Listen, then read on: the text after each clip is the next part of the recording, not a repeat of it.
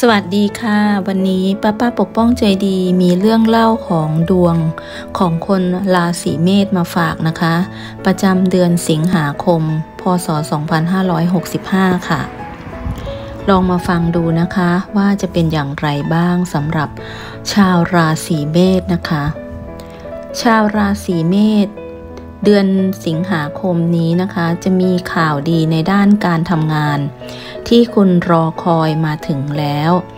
เดือนนี้ดวงดาวแรงๆ ทั้งหลาย เริ่มเบาบางลงทำให้คุณได้พบเส้นทางที่สดใส ราบรื่นในการทำงาน หากใครเจอความเครียด ความปวดหัว วุ่นวาย หรือปัญหาคาลาคาสัง มาในช่วงก่อนหน้านี้ เดือนนี้จะค่อยๆ คลี่คลายไปในทางที่ดีขึ้น หากใครกำลังตกงานว่างงานอยู่ การเริ่มต้นสมัครงานสอบสัมภาษณ์ในช่วงนี้ ถือเป็นจังหวะที่ดี เรียกได้ว่า ดวงดาวดีๆ เริ่มส่งผลเร็วแล้ว ดังนั้นสิ่งไหนที่คิดและตั้งใจไว้ ขอให้คุณลงมือทำได้เลย โดยเฉพาะงานที่เกี่ยวข้องกับโลกออนไลน์ หรือต่างประเทศ จะเป็นงานที่ส่งผลดี เดือนนี้คุณอาจจะต้องเข้าไปดูแล จัดการงานต่างๆ ด้วยตัวเองมากยิ่งขึ้น หรือมีโครงการใหม่ๆ เข้ามาให้ทำเพิ่มเติม แต่ก็ถือว่ายังอยู่ในเกณฑ์ที่คุณสามารถเริ่มต้นทำได้เป็นอย่างดี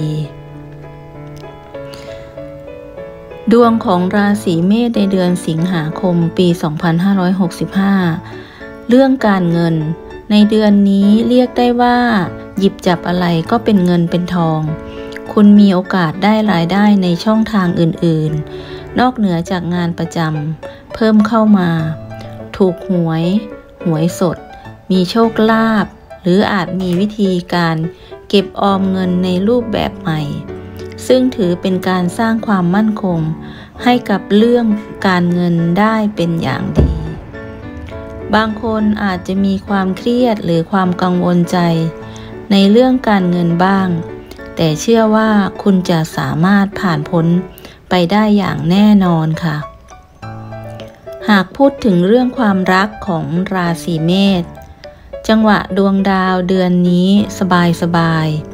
แม้จะไม่ใช่เดือนที่ได้สละโสด หรือพบเจอคู่ แต่อย่างน้อยก็เป็นเดือนที่ปัญหาเกี่ยวกับความรักของคุณลดน้อยลงสำหรับคนที่มีคู่ มีครอบครัวแล้ว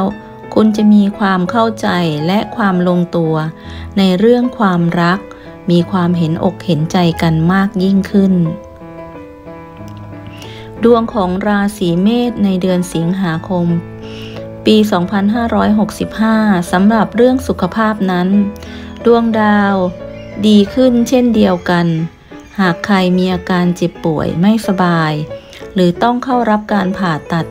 เดือนสิงหาคมนี้สุขภาพของคุณ จะคลี่คลายไปในทางที่ดีขึ้น มีโอกาสในการรักษาที่ดียิ่งขึ้น กว่าเดิม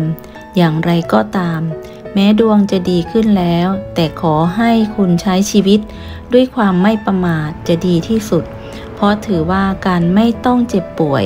ถือเป็นเรื่องที่ดีมากๆเลยนะคะ ที่ป้าหยิบยกราศีเมษขึ้นมาเล่าให้ฟัง เพราะว่าป้าก็เกิดเดือนนี้เหมือนกันนะคะ เป็นชาวราศีเมษค่ะ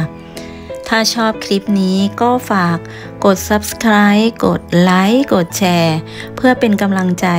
ให้ป้าป้าปกป้องใจดีด้วยนะคะ ขอขอบคุณทุกๆทท่านที่เข้ามารับฟังและรับชมค่ะ